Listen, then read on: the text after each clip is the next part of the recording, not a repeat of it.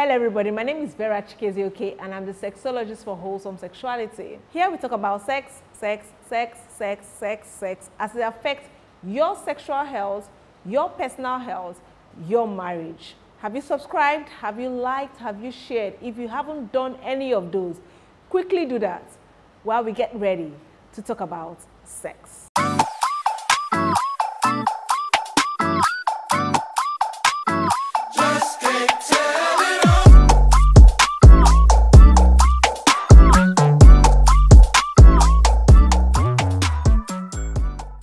And we are back. Hmm. Matters are rising. The matter is really arising and it's getting worse and worse and worse.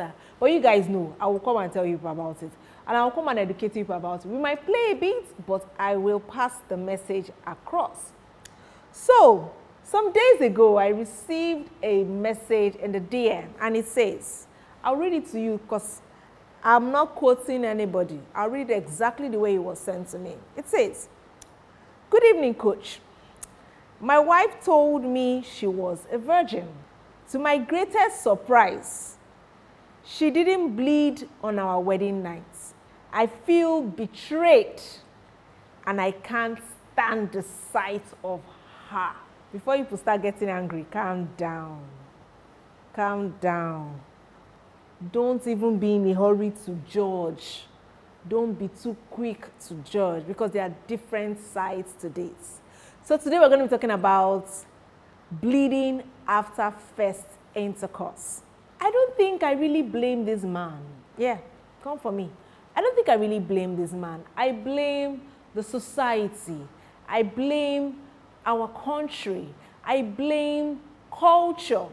I blame people that told us that if you don't bleed on your first sexual experience, you were not a virgin. I blame people that told us that you must bleed when you have sex for the first time. Those are the people I blame. Yes, I can blame the guy a bit for not, because we are evolving, things are happening, more information, more scientific um, research has happened, and we've been told new information.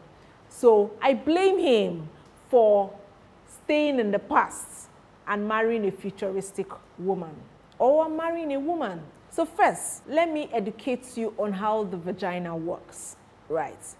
The vagina has a thin tissue that stretches across part of the opening.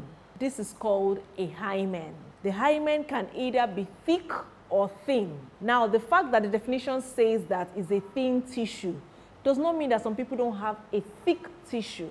So it's basically a curtain.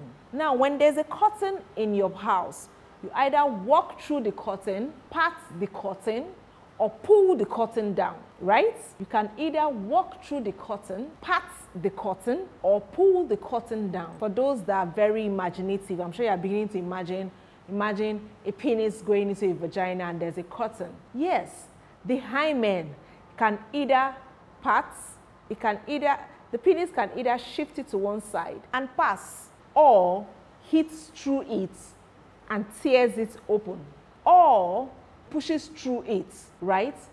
In these three ways by which the penis penetrates the vagina during first intercourse, there may or may not be bleeding, depending on the amount of force applied. There may or may not be bleeding. Now, because of the way the hymen was manufactured by our creator, right, some people's hymen can be ruptured during physical activities. This hymen can be ruptured during physical activity. So if you're very athletic, if you're very physical, right? If you're someone that does a lot of pelvic floor exercises, a lot of stretches and stuff, the hymen can actually shift or rupture. And if you probably bled at that time, you would think it was your menstrual flow coming out. You may think you were spotting before your menstrual flow or spotting after. You wouldn't even know that it was a hymen that took a bow. So sometimes when a person has vaginal sex for the first time, their hymen gets stretched open, which may cause some bleeding. This bleeding we're even talking about uh, because of society in those days when you have sex for the first time in your marriage as a virgin, the elders and the mature women, the umada and all that, they will now gather at the outside of your husband's house waiting for you people to finish. Then they will now bring out, your husband will now bring with his full chest, feeling like a man. He will now bring out the white cloths, now open it. they will now start shouting, hey! Your mother will now be, you know, placed on high chair that she trained the girl very well, that the girl was a virgin till marriage. And then the reverse is the case. If they open that white cloth and there's no stain on it, now the girl will be ostracized. She will, sometimes she will be beaten and chased out of the village. That marriage is cancelled, right? It's now the sin of the girl will be mentored on her mother. There are a lot of things that tradition does that scientifically doesn't make sense, right? So you see, the fact that the girl or the woman did not bleed does not necessarily say that she didn't come to you as a virgin.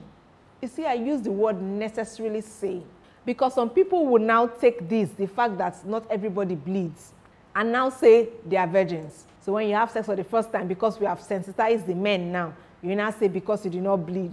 If you could not bleed, say, ah, no, she was a virgin, she did not bleed. See, no, there's no virginometer.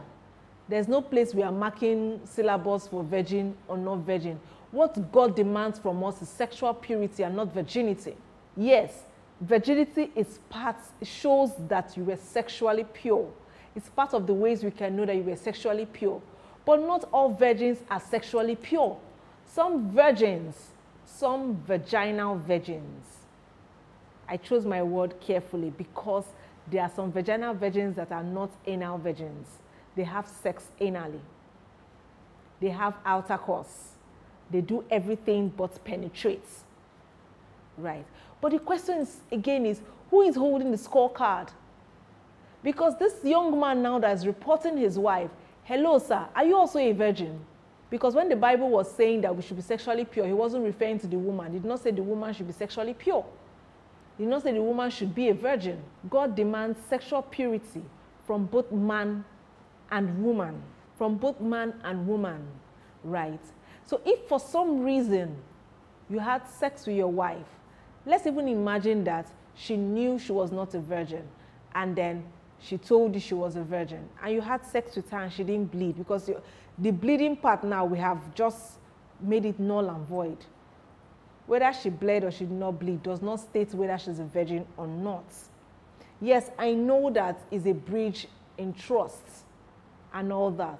But based on this knowledge of the fact that not all virgins bleed, should let you know that, okay, probably my wife was actually a virgin, but she just did not bleed. Right. Okay, but if she was not a virgin and she lied to you that she was a virgin, it's a conversation you will need to sit with her and have with her. You know, people come across from different angles saying, is he a vampire? Why is he looking for blood? Why is he looking for, uh, why is he looking for virgin blood? Blah blah, blah, blah, blah, blah. I don't think he's looking for virgin blood. He just did not know that not all virgins bleed. So, sir, before you start thinking that your wife lied to you or start feeling betrayed, get knowledge. Knowledge is everywhere. And since you have not been able to get knowledge, I hope this video answers it for you. Not all virgins bleed. And the fact that the woman did not bleed does not state her being a virgin or not. And please, how do we even know if the man was a virgin in the first place? But I don't want to go into all that details. I just wanted to use this question to trash out the issue of bleeding and not bleeding. Quick tip for you don't believe all you see in the movies. See you in the next video.